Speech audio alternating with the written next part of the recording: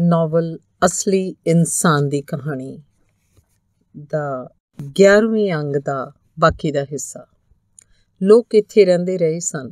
ਕਦੀ ਬਹੁਤ ਬਹੁਤ ਸਮਾਂ ਪਹਿਲਾਂ ਜ਼ਮੀਨ ਦਾ ਇਹ ਟੋਟਾ ਉਹਨਾਂ ਨੇ ਕਾਲੇ ਜੰਗਲ ਤੋਂ ਜਿੱਤਿਆ ਸੀ। ਹਲ ਨਾਲ ਇਸ ਤੇ ਸਿਆੜ ਪਾਏ ਸਨ। ਲੱਕੜੀ ਦੇ ਕਰਾਹੇ ਨਾਲ ਇਹਨੂੰ ਫਰੋਲਿਆ ਸੀ।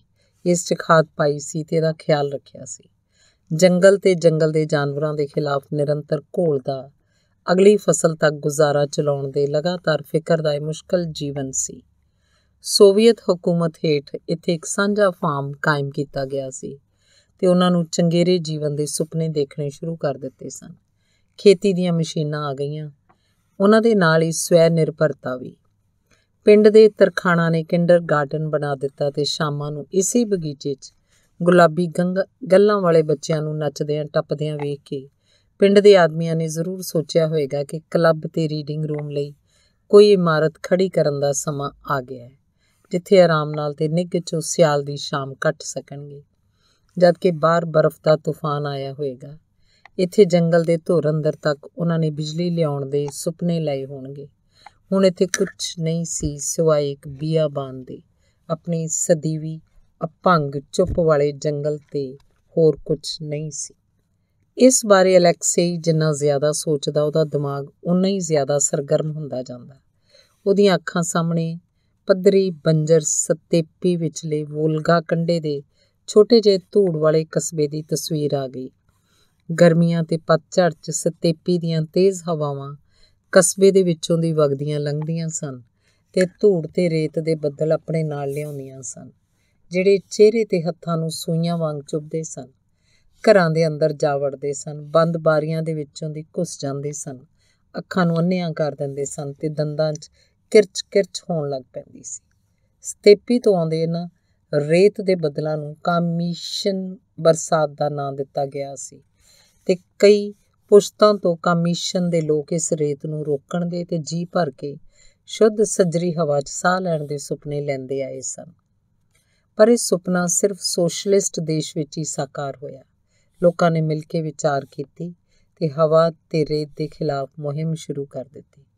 ਹਰ ਸਨੇਚਰਵਾਰ ਸਮੁੱਚੀ ਵਸੋਂ ਸਲੰਗਾ ਤੇ ਬੇਲਚੇ ਤੇ ਕੁਹਾੜੀਆਂ ਲੈ ਕੇ ਨਿਕਲ ਪੈਂਦੀ। ਕੁਝ ਹੀ ਸਮੇਂ 'ਚ ਸ਼ਹਿਰ ਦੇ ਪਹਿਲਾਂ ਖਾਲੀ ਪਏ ਚੌਂਕ 'ਚ ਇੱਕ ਪਾਰਕ ਉੱਠ ਖੜਾ ਹੋਇਆ। ਤੰਗ ਗਲੀਆਂ ਬਾਜ਼ਾਰਾਂ ਦੇ ਨਾਲ-ਨਾਲ ਲਵੇ ਪਤਲੇ-ਪਤਲੇ ਪਪੂਲਰ ਦੇ ਰੁੱਖ ਦਿਖਾਈ ਦੇਣ ਲੱਗੇ।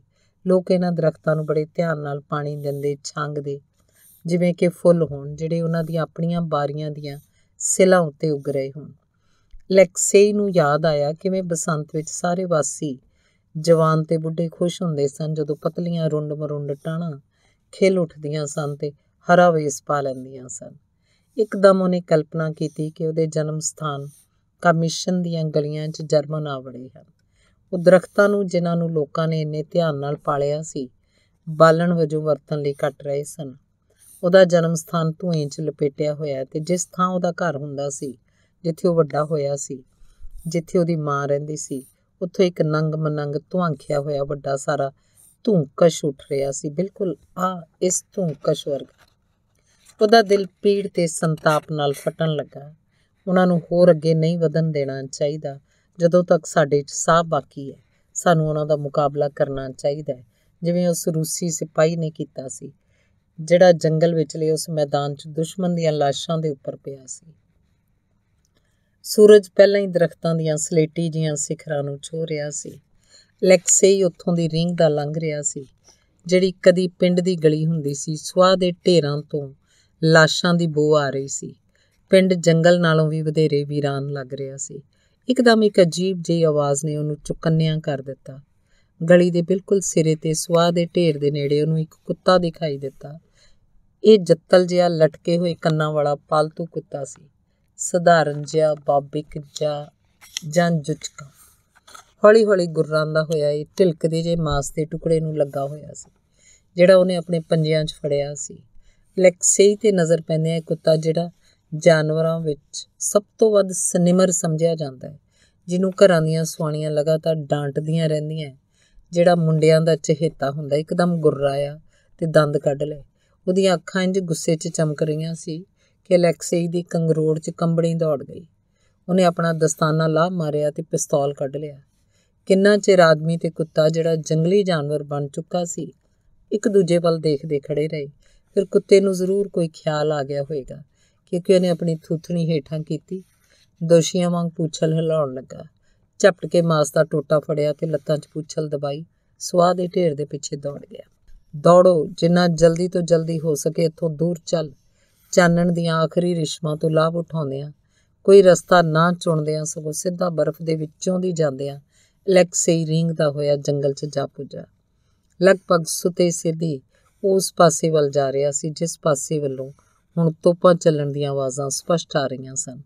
ਉਹ ਚੁੰਬਕ ਉਹ ਚੁੰਬਕ ਵਾਂਗ ਉਹਨੂੰ ਖਿੱਚ ਰਹੀਆਂ ਸਨ ਤੇ ਜਿਉਂ-ਜਿਉਂ ਉਹਨਾਂ ਦੇ ਨੇੜੇ ਜਾਈ ਜਾਂਦਾ ਸੀ, ਉਹਨਾਂ ਦੀ ਖਿੱਚ ਸ਼ਕਤੀ ਉਨੀ ਵੱਧਦੀ ਜਾਂਦੀ ਸੀ। ਅੰਗ 12ਵਾਂ ਇਸ ਤਰ੍ਹਾਂ ਲੈਕਸਈ 2-3 ਦਿਨ ਹੋਰ ਰੀਂਗਦਾ ਗਿਆ। ਉਹਨੂੰ ਸਮੇਂ ਦਾ ਹਿਸਾਬ ਨਹੀਂ ਸੀ ਰਿਹਾ, ਸਾਰਾ ਕੁਝ ਸਵੈਕਾਰ ਯਤਨ ਦੀ ਇੱਕ ਲਗਾਤਾਰ ਜੰਜੀਰੀ 'ਚ ਜੁੜ ਗਿਆ ਸੀ। ਕਦੀ-ਕਦੀ ਨੀਂਦ ਜਾਂ ਸ਼ਾਇਦ ਮੂਰਛਾ ਉਸ ਤੇ ਛਾ ਜਾਂਦੀ। ਉਹ ਰਿੰਗਦਾ ਰਿੰਗਦਾ ਸੌਂ ਜਾਂਦਾ।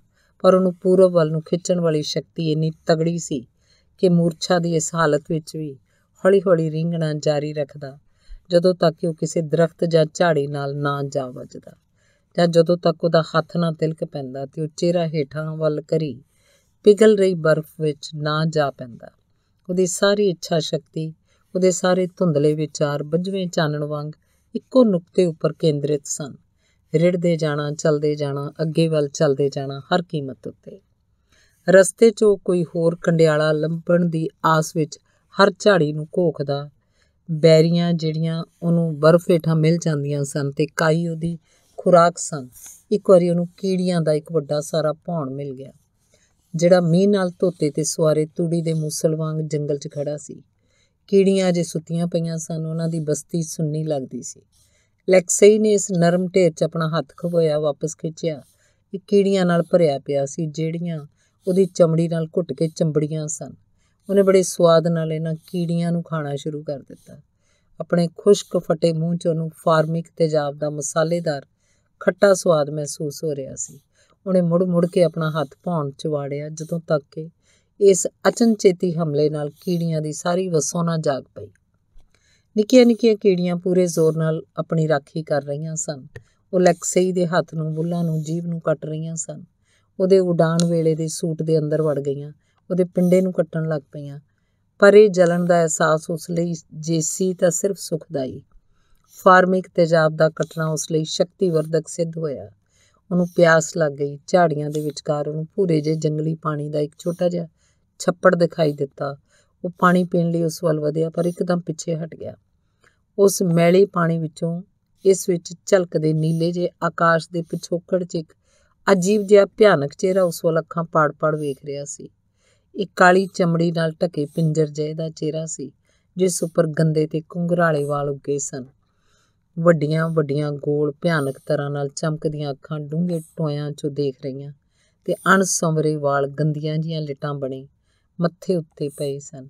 ਕੀ ਇਹ ਮੈਂ ਹੀ ਹਾਂ ਅਲੈਕਸੀ ਨੇ ਆਪਣੇ ਆਪ ਤੋਂ ਪੁੱਛਿਆ ਤੇ ਮੁੜ ਕੇ ਦੇਖਣ ਤੋਂ ਡਰਦਿਆਂ ਉਹਨੇ ਪਾਣੀ ਨਾ ਪੀਤਾ, ਸਗੋਂ ਕੁਝ ਬਰਫ਼ ਮੂੰਹ 'ਚ ਪਾ ਲਈ ਤੇ ਉਸੇ ਸ਼ਕਤੀਸ਼ਾਲੀ ਚੁੰਬਕ ਦਾ ਖਿੱਚਿਆ ਹੋਇਆ ਪੂਰਬ ਵੱਲ ਨੂੰ ਰਿੰਗਣ ਲੱਗਾ। ਉਸ ਰਾਤ ਉਹਨੇ ਬੰਬ ਨਾਲ ਬਣੇ ਇੱਕ ਵੱਡੇ ਸਾਰੇ ਟੋਏ ਨੂੰ ਆਪਣਾ ਟਿਕਾਣਾ ਬਣਾਇਆ, ਜਿਹੜਾ ਵਿਸਫੋਟ ਨਾਲ ਉੱਡੀ ਪੀਲੀ ਰੇਤ ਦੀ ਕੰਧ ਨਾਲ ਘਿਰਿਆ ਹੋਇਆ ਸੀ। ਟੋਏ ਦੀ ਤਹਿ ਉਹਨੂੰ ਸ਼ਾਂਤ ਤੇ ਆਰਾਮਦੇਹ ਲੱਗੀ। ਹਵਾ ਇੱਥੇ ਨਹੀਂ ਸੀ ਲੱਗਦੀ, ਇਸ ਨਾਲ ਸਿਰਫ ਰੇਤ ਹੀ ਸਰਸਰ ਕਰਦੀ ਸੀ ਤੇ ਪਾਸਿਆਂ ਤੋਂ ਤਿਲਕ ਕੇ ਅੰਦਰ ਆ ਡਿੱਗਦੀ। ਇੱਥੋਂ ਸਿਤਾਰੇ ਅਸਾਧਾਰਨ ਤੌਰ ਤੇ ਵੱਡੇ ਤੇ ਹੇਠਾਂ ਕਰਕੇ ਉਹਦੇ ਸਿਰ ਤੇ ਲਟਕੇ ਲੱਗਦੇ ਸਨ। ਦਿਆਰ ਦੇ ਦਰਖਤ ਦੀ ਬੁਰਦਾਰ ਟਾਣੀ ਜਿਹੜੀ ਸਿਤਾਰਿਆਂ ਦੇ ਹੇਠਾਂ ਇੱਧਰ ਉੱਧਰ ਝੂਲ ਰਹੀ ਸੀ, ਐਸੇ ਹੱਥ ਵਾਂਗ ਲੱਗ ਰਹੀ ਸੀ ਜਿਹੜਾ ਕੱਪੜਾ ਫੜੀ ਉਹਨਾਂ ਚਮਕਦੀਆਂ ਰੌਸ਼ਨੀਆਂ ਨੂੰ ਸਾਫ਼ ਕਰ ਰਿਹਾ ਤੇ ਲਿਸ਼ਕਾਂ, ਲਿਸ਼ਕਾ ਰਿਹਾ ਹੋਵੇ। ਪੌ ਫੁਟਾਲੇ ਤੋਂ ਪਹਿਲਾਂ ਠੰਡ ਹੋ ਗਈ। ਜੰਗਲ ਉੱਪਰ ਧੁੰਦ ਫੈਲੀ ਹੋਈ ਸੀ। ਹਵਾ ਦਾ ਰੁਖ ਬਦਲ ਗਿਆ ਸੀ। ਹੁਣ ਇਹ ਉੱਤਰ ਵੱਲੋਂ ਆ ਰਹੀ ਸੀ ਤੇ ਧੁੰਦ ਨੂੰ ਬਰਫ਼ 'ਚ ਬਦਲ ਰਹੀ ਸੀ। ਜਦੋਂ ਧੁੰਦਲਾ ਜਿਹਾ ਦੇਰ ਨਾਲ ਹੋਇਆ ਚਾਨਣ ਆਖਰ, ਟਹਿਣੀਆਂ 'ਚ ਆਉਣਾ ਸ਼ੁਰੂ ਹੋ ਗਿਆ ਤਾਂ ਸੰਘਣੀ ਧੁੰਦ ਨੀਵੀਂ ਹੋ ਗਈ ਤੇ ਹੌਲੀ-ਹੌਲੀ ਛੱਟ ਗਈ। ਆਲੇ ਦੁਆਲੇ ਦੀ ਸਾਰੀ ਜ਼ਮੀਨ ਤਿਲਕਵੀਂ ਜਿਹੀ ਬਰਫ਼ ਦੀ ਪੇਪੜੀ ਨਾਲ ਢਕੀ ਦਿਖਾਈ ਦਿੱਤੀ। ਸਿਰ ਉੱਪਰਲੀ ਟਹਿਣੀ ਹੁਣ ਕੱਪੜਾ ਫੜੀ ਹੱਥ ਵਰਗੀ ਨਹੀਂ ਸੀ ਲੱਗ ਰਹੀ। ਸਗੋਂ ਅਦਭੁਤ ਬਿਲੋਰੀ ਮੋਮਬੱਤੀ ਦਾਨ ਵਰਗੀ ਲੱਗ ਰਹੀ ਸੀ। ਜਿਸ ਨਾਲ ਲਟਕਦੀਆਂ ਨਿੱਕੀਆਂ ਪ੍ਰਿਜ਼ਮਾਂ ਹਵਾ 'ਚ ਹੌਲੀ-ਹੌਲੀ ਟਣਕ ਰਹੀਆਂ ਸਨ। ਅਲੈਕਸੀ ਜਾਗਿਆ ਤਾਂ ਪਹਿਲਾਂ ਨਾਲੋਂ ਵੀ ਕਮਜ਼ੋਰ ਮਹਿਸੂਸ ਕਰ ਰਿਹਾ ਸੀ। ਉਹਨੇ ਦਿਆਰ ਦੇ ਛਿਲਕੇ ਨੂੰ ਵੀ ਨਾ ਚੂਸਿਆ, ਜਿਹਦਾ ਉਹ ਆਪਣੀ ਵਰਦੀ ਦੀ ਜੇਬ 'ਚ ਭੰਡਾਰ ਰੱਖਦਾ ਸੀ। ਉਹ ਬੜੀ ਮੁਸ਼ਕਲ ਨਾਲ ਜ਼ਮੀਨ ਤੋਂ ਉੱਠਿਆ, ਜਿਵੇਂ ਕਿ ਰਾਤ ਦੇ ਦੌਰਾਨ ਉਹਦਾ ਸਰੀਰ ਕਿਸੇ ਨੇ ਇਸ ਨਾਲ ਗੂੰਦ ਲਾ ਕੇ ਚਿਪਕਾ ਚਿਪਕਾਤਾ ਹੋਵੇ। ਆਪਣੇ ਕੱਪੜਿਆਂ ਦਾੜੀ ਤੇ ਮੁੱਛਾਂ ਤੋਂ ਬਰਫ਼ ਝਾੜਨ ਤੋਂ ਬਿਨਾਂ ਉਹਨੇ ਟੋਏ ਦੇ ਪਾਸੇ ਤੇ ਚੜਨ ਦੀ ਕੋਸ਼ਿਸ਼ ਕੀਤੀ, ਪਰ ਉਹਦੇ ਹੱਥ ਰੇਤ ਤੇ ਤਿਲਕ ਪਏ। ਜਿਹੜੀ ਰਾਤ ਦੇ ਦੌਰਾਨ ਜੰਮ ਗਈ ਸੀ ਮੁੜ ਮੁੜ ਕੇ ਉਹਨੇ ਬਾਹਰ ਨਿਕਲਣ ਦੀ ਕੋਸ਼ਿਸ਼ ਕੀਤੀ। ਹਰ ਵਾਰੀ ਉਹ ਤਿਲਕ ਕੇ ਵਾਪਸ ਹੇਠਾਂ ਆ ਡਿੱਗਦਾ। ਉਹਦੇ ਯਤਨਾਂ 'ਚ ਜ਼ੋਰ ਘਟਦਾ ਗਿਆ। ਆਖਰ ਉਹ ਇਹ ਮਹਿਸੂਸ ਕਰਦਿਆਂ ਘਬਰਾ ਉੱਠਿਆ ਕਿ ਉਹ ਬਿਨਾਂ ਸਹਾਇਤਾ ਦੇ ਬਾਹਰ ਨਹੀਂ ਨਿਕਲ ਸਕੇਗਾ। ਇਸ ਖਿਆਲ ਨੇ ਉਹਨੂੰ ਤਿਲਕਵੇਂ ਪਾਸੇ ਉੱਪਰ ਚੜਨ ਦਾ ਇੱਕ ਵਾਰੀ ਹੋਰ ਯਤਨ ਕਰਨ ਲਈ ਪ੍ਰੇਰਿਆ। ਪਰ ਉਹ ਆਪਣੇ ਆਪ ਨੂੰ ਜ਼ਰਾ ਕੋਈ ਉਤਾਂ ਚੁੱਕਣ 'ਚ ਸਫਲ ਹੋਇਆ ਸੀ ਕਿ ਮੁੜ ਤਿਲਕ ਕੇ ਹੇਠਾਂ ਆ ਪਿਆ। ਨਿਸੱਤਾ ਤੇ ਬੇਵਸ। ਅੰਤ ਆ ਗਿਆ ਹੁਣ ਕੋਈ ਫ਼ਰਕ ਨਹੀਂ ਪੈਂਦਾ। ਉਹ ਟੋਏ ਦੀ ਤਹਿ 'ਚ ਗੁੱਛਾ ਗੁੱਛਾ ਹੋ ਕੇ ਪੈ ਗਿਆ। ਆਰਾਮ ਦੇ ਡਰਾਉਣੇ ਅਹਿਸਾਸ ਤੋਂ ਚੇਤਨ, ਜਿਹੜਾ ਸਾਰੇ ਸਰੀਰ ਤੇ ਰਿੰਗਦਾ ਹੋਇਆ ਛਾ ਰਿਹਾ ਸੀ ਉਹਦੀ ਇੱਛਾ ਸ਼ਕਤੀ ਦੀ ਚੁੰਬਕੀ ਖਿੱਚ ਨੂੰ ਖਤਮ ਕਰ ਰਿਹਾ। ਉਹਨੂੰ ਨਿਕੰਮਾ ਕਰ ਰਿਹਾ ਸੀ। ਹੌਲੀ-ਹੌਲੀ ਉਹਨੇ ਆਪਣੀ ਵਰਦੀ ਦੀ ਜੇਬ 'ਚੋਂ ਪਾਟੀਆਂ ਹੋਈਆਂ ਚਿੱਠੀਆਂ ਕੱਢੀਆਂ, ਪਰ ਉਹਨਾਂ ਨੂੰ ਪੜਨ ਦੀ ਉਸ 'ਚ ਤਾਕਤ ਨਹੀਂ ਸੀ। ਉਹਨੇ ਪਲਾਸਟਿਕ ਦੀ ਉਛਾੜ ਵਿੱਚੋਂ ਛਾਪੇ ਵਾਲੀ ਫਰਾਕ ਪਾਈ, ਮੈਦਾਨ 'ਚ ਘਾਹ ਤੇ ਬੈਠੀ ਕੁੜੀ ਦੀ ਫੋਟੋ ਕੱਢੀ। ਉਦਾਸ ਜੀ ਮੁਸਕਾਨ ਨਾਲ ਉਹਨੂੰ ਪੁੱਛਣ ਲੱਗਾ, ਕਿ ਇਹ ਸੱਚਮੁੱਚ ਅਲਵਿਦਾ ਹੈ? ਤੇ ਇੱਕਦਮ ਉਤਰਬਕ ਪਿਆ ਤੇ ਫੋਟੋ ਨੂੰ ਆਪਣੇ ਹੱਥ 'ਚ ਹੀ ਫੜੀ। ਜਿਵੇਂ ਸੀ ਉਵੇਂ ਬੁੱਤ ਦਾ ਬੁੱਤ ਬਣਿਆ ਬੈਠਾ ਰਿਹਾ। ਉਹਨੂੰ ਲੱਗਾ ਕਿ ਉਹਨੇ ਉੱਪਰ ਠੰਡੀ ਕਕਰੀਲੀ ਹਵਾ 'ਚ ਜੰਗਲ ਦੇ ਉੱਪਰ ਉੱਚੀ ਕਿਤੇ ਕੋਈ ਜਾਣੀ ਪਛਾਣੀ ਆਵਾਜ਼ ਸੁਣੀ ਹੈ। ਉਹਨੇ ਇੱਕਦਮ ਆਪਣੀ ਸੁਸਤੀ ਲਾ ਮਾਰੀ। ਇਸ ਆਵਾਜ਼ 'ਚ ਕੋਈ ਖਾਸ ਗੱਲ ਨਹੀਂ ਸੀ। ਇੰਨੀ ਮੱਧਮ ਸੀ ਕਿ ਜੰਗਲੀ ਜਾਨਵਰ ਦੇ ਅਤ ਸੂਖਮ ਕੰਨ ਵੀ ਇਹਨੂੰ ਬਰਫ਼ ਢਕੀਆਂ ਦਰਖਤਾਂ ਦੀਆਂ ਟੀਸੀਆਂ ਦੀ ਇਕਸਾਰ ਸਰਸਰ ਨਾਲੋਂ ਨਿਖੇੜਨ ਤੋਂ ਅਸਮਰਥ ਰਹਿੰਦੀ। ਪਰ ਇਸ ਵਿਚਲੀ ਇੱਕ ਖਾਸ ਤਰ੍ਹਾਂ ਦੀ ਸੀਟੀ ਦੀ ਆਵਾਜ਼ ਤੋਂ ਲੈਕਸਈ ਨੇ ਬਿਲਕੁਲ ਠੀਕ-ਠੀਕ ਅੰਦਾਜ਼ਾ ਲਾ ਲਿਆ ਕਿ ਇਹ ਇਲ 16 ਹਵਾਈ ਜਹਾਜ਼ ਦੀ ਆਵਾਜ਼ ਸੀ, ਜਿਸ ਤਰ੍ਹਾਂ ਦਾ ਹਵਾਈ ਜਹਾਜ਼ ਕਿ ਉਹ ਉਡਾਉਂਦਾ ਰਿਹਾ ਹੈ।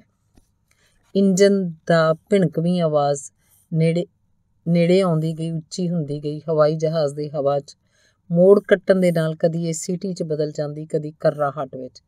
ਆਖਰ ਉੱਪਰ ਭੂਰੇ ਜਿਹੇ ਆਕਾਸ਼ 'ਚ ਲੈਕਸਈ ਨੂੰ ਛੋਟੀ ਜੀ ਹੌਲੀ-ਹੌਲੀ ਚਲਦੀ ਸਲੀਬ ਜੀ ਦਿਖਾਈ ਦਿੱਤੀ ਜਿਹੜੀ ਸਲੇਟੀ ਜੇ ਧੁੰਦਲੇ ਬੱਦਲਾਂ 'ਚ ਜਾ ਲੁਕਦੀ ਤੇ ਫਿਰ ਨਿਕਲ ਆਉਂਦੀ ਸੀ। ਉਹਨੂੰ ਇਹਦੇ ਪਰਾਂ ਉੱਤੇ ਲਾਲ ਸਿਤਾਰੇ ਵੀ ਦਿਖਾਈ ਦੇਣ ਲੱਗ ਪਏ। ਉਹਦੇ ਬਿਲਕੁਲ ਸਿਰ ਉੱਪਰ ਉਹਨੇ ਚੱਕਰ ਕੱਟਿਆ ਤੇ ਇਸ ਤਰ੍ਹਾਂ ਕਰਦਾ ਹੋਇਆ ਇਹ ਧੁੱਪ 'ਚ ਲਿਸ਼ਕਾ ਮਾਰਨ ਲੱਗਾ। ਫਿਰ ਇਹ ਟੇਢਾ ਹੋਇਆ, ਉੱਡਦਾ ਹੋਇਆ ਉੱਥੋਂ ਚਲਾ ਗਿਆ।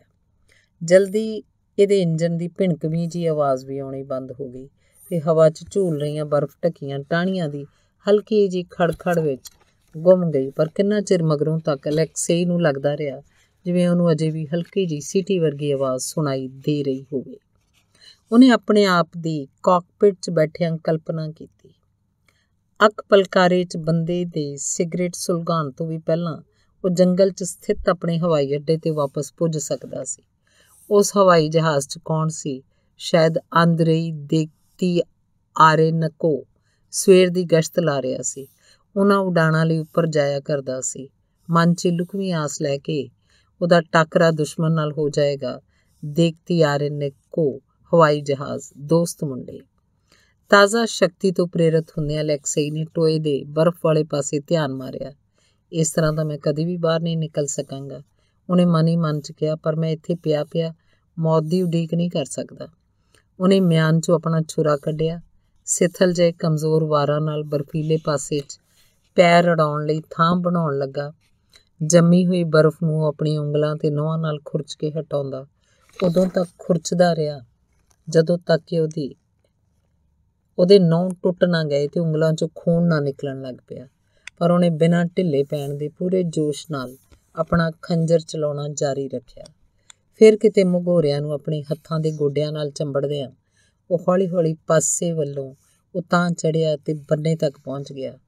ਬੰਨੇ ਦੇ ਉੱਪਰੋਂ ਦੀ ਹੋਣ ਦੇ ਬਾਹਰ ਨੂੰ ਰਿੜਨ ਲਈ ਖੋਰ ਹੰਬਲਾ ਉਹਦੀ ਜ਼ਿੰਦਗੀ ਬਚ ਜਾਏਗੀ, ਪਰ ਉਹਦੇ ਪੈਰ ਤਿਲਕ ਗਏ ਤੇ ਉਹ ਰਿੜ ਕੇ ਹੇਠਾਂ ਜਾ ਡਿੱਗਾ। ਉਹਦਾ ਮੂੰਹ ਜ਼ੋਰ ਦੀ ਬਰਫ਼ ਨਾਲ ਜਾ ਵੱਜਾ। ਉਹਨੂੰ ਸਖਤ ਸੱਟ ਲੱਗੀ, ਪਰ ਹਵਾਈ ਜਹਾਜ਼ ਦੀ ਭਿਣਕ ਅਜੇ ਵੀ ਉਹਦੇ ਕੰਨਾਂ 'ਚ ਗੂੰਜ ਰਹੀ ਸੀ। ਉਹ ਮੁੜ ਕੇ ਪਾਸੇ ਵੱਲੋਂ ਤਾਂ ਚੜਿਆ ਤੇ ਫਿਰ ਤਿਲਕ ਕੇ ਹੇਠਾਂ ਆ ਗਿਆ। ਫਿਰ ਕੀਤੇ ਮਗੋਰਿਆਂ ਨੂੰ ਗੌਰ ਨਾਲ ਦੇਖਦਿਆਂ ਉਹਨੇ ਇਹਨਾਂ ਨੂੰ ਹੋਰ ਡੂੰਘਾ ਕਰਨਾ ਸ਼ੁਰੂ ਕਰ ਦਿੱਤਾ ਤੇ ਪਰਲਿਆਂ ਦੇ ਸਿਰਿਆਂ ਨੂੰ ਹੋਰ ਤਿੱਖੇ ਕਰ ਦਿੱਤਾ। ਇਹ ਕੰਮ ਖਤਮ ਕਰਨ ਮਗਰੋਂ ਉਹਨੇ ਆਪਣੀ ਖਤਮ ਹੁੰਦੀ ਜਾ ਰਹੀ ਤਾਕਤ ਨੂੰ ਚੌਕਸੀ ਨਾਲ ਵਰਤਦਿਆਂ ਮੁੜ ਕੇ ਚੜਨਾ ਸ਼ੁਰੂ ਕੀਤਾ। ਬੇਹੱਦ ਮੁਸ਼ਕਲ ਨਾਲ ਉਹਨੇ ਰੇਤਲੇ ਬੰਨੇ ਤੋਂ ਆਪਣੇ ਆਪ ਨੂੰ ਪਾਰ ਸੁੱਟਿਆ ਤੇ ਬੇਬਸੀ ਨਾਲ ਰਿੜਦਾ ਰਿੜਦਾ ਹੇਠਾਂ ਜ਼ਮੀਨ ਤੱਕ ਆ ਗਿਆ। ਫਿਰ ਉਸ ਪਾਸੇ ਵੱਲ ਰਿੜਨ ਲੱਗਾ ਜਿੱਧਰ ਨੂੰ ਹਵਾਈ ਜਹਾਜ਼ ਗਿਆ ਸੀ ਤੇ ਜਿਸ ਪਾਸੇ ਵੱਲੋਂ ਸੂਰਜ ਚੜ ਕੇ ਜੰਗਲ ਦੇ ਉੱਪਰ ਆ ਗਿਆ ਸੀ। ਜਿਸ ਨਾਲ ਬਰਫ਼ ਖਾਣੀ ਧੁੰਦ ਦੂਰ ਹੋ ਗਈ ਸੀ ਤੇ ਬਰਫ਼ ਦੀ ਪੇਪੜੀ ਬਲੌਰ ਵਾਂਗ ਲਿਸ਼ਕਣ ਲੱਗ ਪਈ ਸੀ। ਧੰਨਵਾਦ। ਚੱਲਦਾ।